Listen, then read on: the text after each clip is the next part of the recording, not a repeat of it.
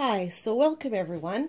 Today um, I'm going to show you what's in my bag. I've uh, I've become so excited about doing urban sketching now and uh, doing illustrating and some watercolors in it.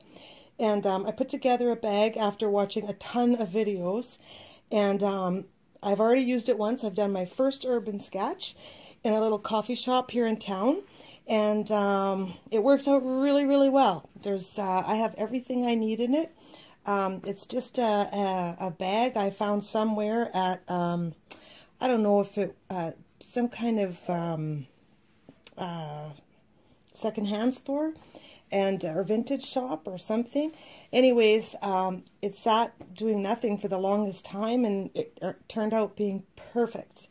So um, I'm just going to take you through what I have in it and then in a future video, I'll take you along with me uh, to, on my one, one of my little urban sketch outings. So, um, okay, so here we go. So this is the bag. I don't want to get in the video. So this is the bag. It's got a long handle, which is awesome. I just swing it over my shoulder with my other purse. And um, has a zip pocket on this side. Has another zip pocket on this side and it's kind of uh, quilted, so it's heavy duty. Um, it's got two little side pockets, and on this side pocket, I have a jar of water, which is perfect. I'm, I'm trying to look for smaller, uh, wide mouth uh, jars because I want two, like a clean water and a dirty water one. But anyway, that does fine for now. You just have to really uh, blot your paintbrush on the napkin before you dunk it in and you're okay. And then on this side, I have uh, my squirt bottle that I squirt to refresh my watercolor paints.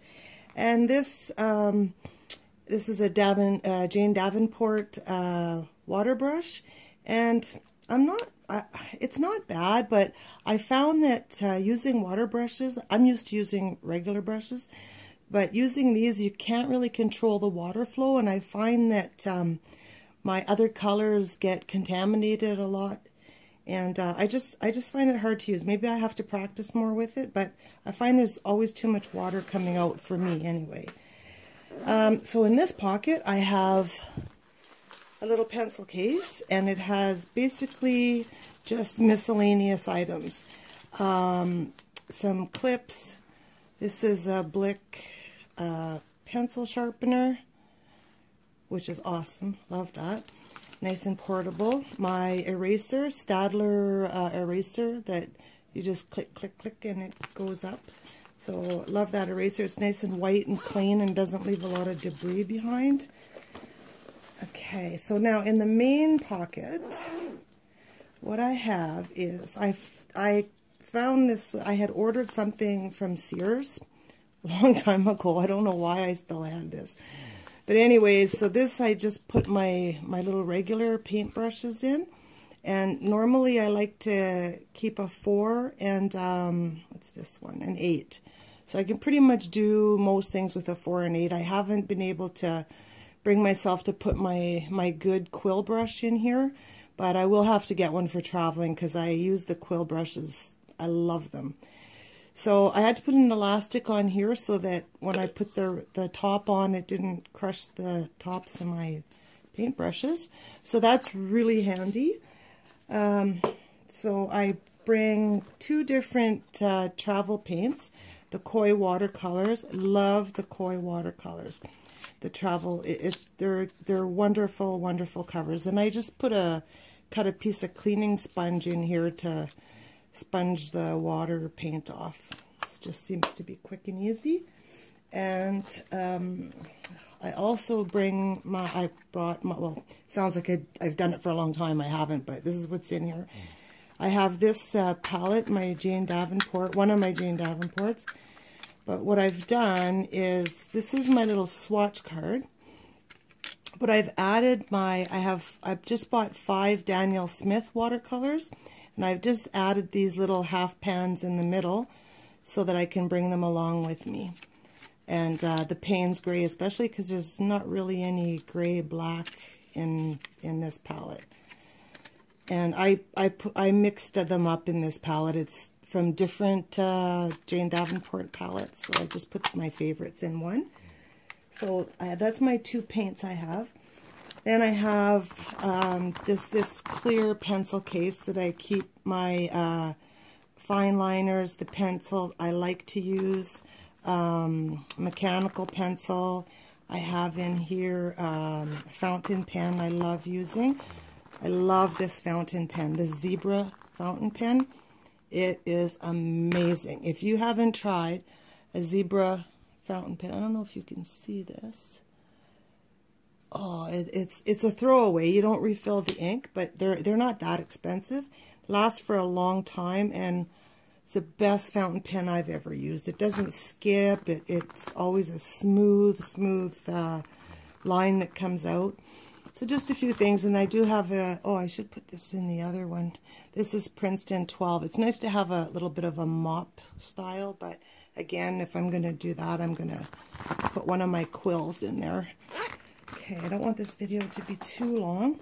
So um, in this pouch here, I keep a bunch of uh, napkins and I've cut them all down to size just so I can take what I need and I always have lots. In this one, oh, I need more, but I just um, cut little wee squares of uh, spare watercolor paper so that when you're painting, you can just test your color on here first before you actually lay it onto your illustration, which is very handy. And we're almost done. You don't need a lot of stuff.